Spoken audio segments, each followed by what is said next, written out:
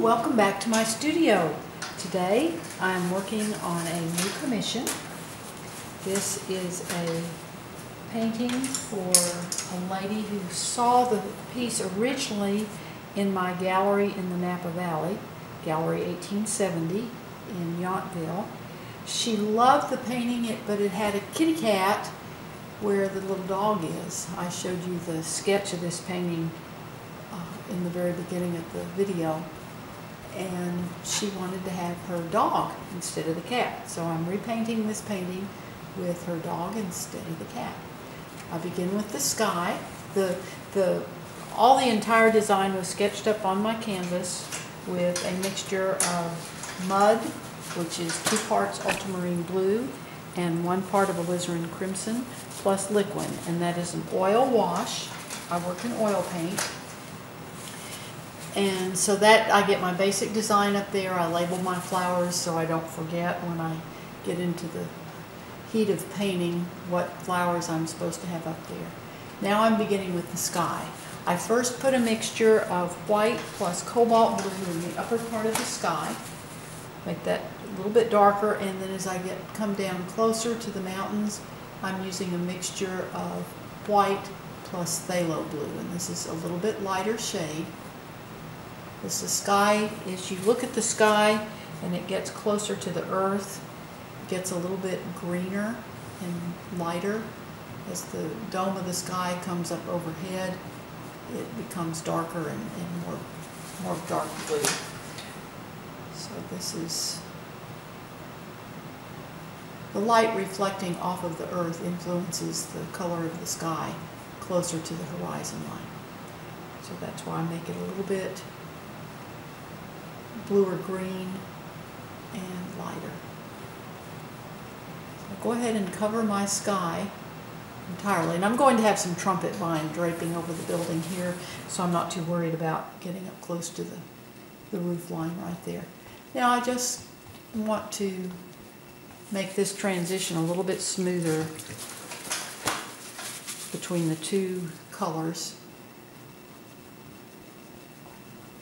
I just wipe my brush clean with tissue paper and then I can just smooth the, that transition out.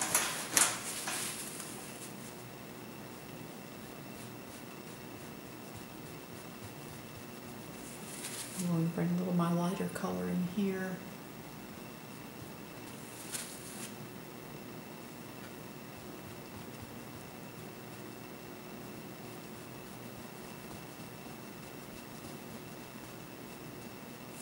Okay, so that gets that sky.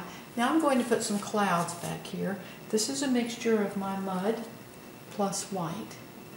And this makes just, the mud is just a deep purple that we use for the basis of a lot of our mixtures. Jack developed this palette, he called it a double primary palette. And it is two reds, two yellows, and two blues. And all of the colors are mixed from that. So this mud is the basis of a lot of the orange and the ochre, the sienna mixes. And that's used quite a bit. So I first block my clouds in with the mud mixture. Now the light's coming in from the upper right. So that side of the clouds then are going to have a little light on them. And this is a mixture of my white plus a little ultramarine blue plus some cadmium orange. Just a tiny bit of ultramarine blue and a tiny bit of cadmium orange. That gives a nice warm light on the clouds.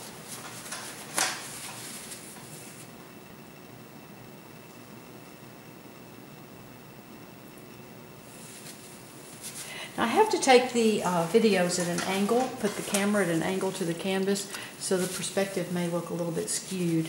But I can't put the, can the camera directly behind me because I would block it. You wouldn't be able to see what I'm doing. So we just have to compromise and, and do it that way. I'm going to, going to bring a little bit of this light actually down to the horizon. These clouds are getting some light down there. Then I'll have my dark in there. And there's going to, going to be a lot of vines coming down through here. I'm going to get a little bit of my, um, my phthalo blue plus white, just make a few little openings in these clouds. So we just get a feeling of those fluffy clouds. I don't know how much of that you will see because the vine comes down there, but I at least want to get that in there.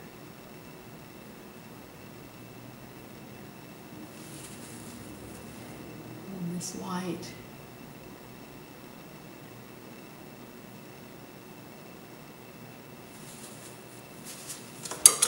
I want to soften the lights on those clouds, so I take a clean brush and I just pull from the dark into the light, and that just softens those clouds a little bit. Now I may have to come back here and pull a little bit of my lighter color up into the, the blue. See how that softens those? Yeah, I want to just clean my brush, swish it in my thinner, and then just wipe it dry. You need your brush, brush to be real dry. You don't want any extra thinner in there. And then just pull straight down. See how that softens those clouds? You want your, so your sky to be soft so that it drops back. In painting, the way to give the impression, there are several ways you can give the, impa- the impression of depth in a painting. And one is soft and hard edges. Soft edges go back, hard, defined edges come forward. As things go into the distance, they get a little out of focus, the edges get soft. So that is why I want my edges on my clouds to be, be softer. So that just falls back into the distance. Want a little bit more of my light in here. And now I'm going to do my most distant mountain is going to be a mixture of ultramarine blue plus just a tiny bit of mud plus white.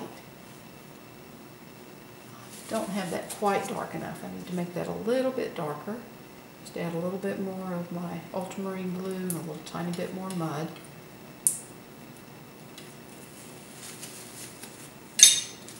I pre-mix most of my colors right before I get started and then if I have to go back and make adjustments like that, then I can.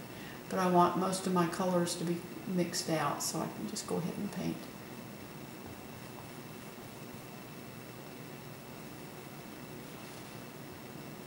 And then as we get here, the clouds and the mountain are going to be just about the same value. And that edge of the mountain just kind of disappears. And that's one reason I wanted the light on those clouds there because then that gives you that light coming in behind. I don't want my mounts to be the same line on the top of them, so I, I dip down here. As you come down into the lower part of this mountain, there's mist that hangs in between the mountain ridges. So I want this to be a little bit lighter down here. And this is just some white added into that mountain mixture.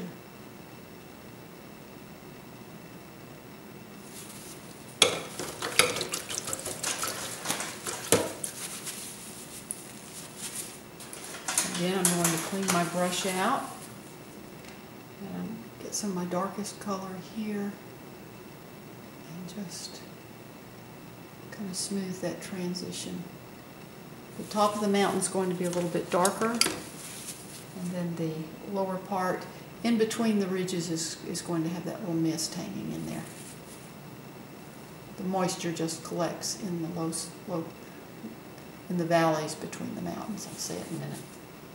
I'm also softening this top edge of this mountain so that it goes back. I don't want a real hard edge there.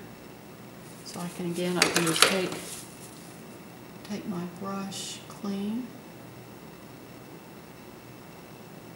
See how I just go along that edge and just soften it just a little bit. So that's how we do the sky and the most distant mountain. I really appreciate you watching my videos. Please subscribe to my YouTube channel And also visit my blog. The link is in the description below. The address is also on the final frame of my video. On my blog, I show the entire step-by-step process of this painting as well as others I do. And you can subscribe to my blog where you'll receive an email every time I make a new post. So thank you again, and you just have a wonderful, wonderful day.